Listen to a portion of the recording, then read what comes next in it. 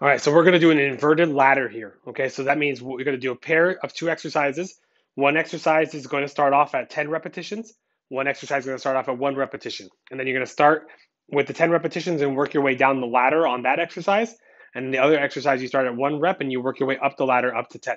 So 10 to 1, 1 to 10. Okay, so the first exercise where you start at 10, you're going to go into a split squat position and you're going to incorporate with light weights in your hands, you're going to incorporate a lateral raise. So you're going to hold the bottom of the split squat and we're going to do 10 lateral raises at the bottom. So you'll do 10 with this side and you'll do 10 with this side.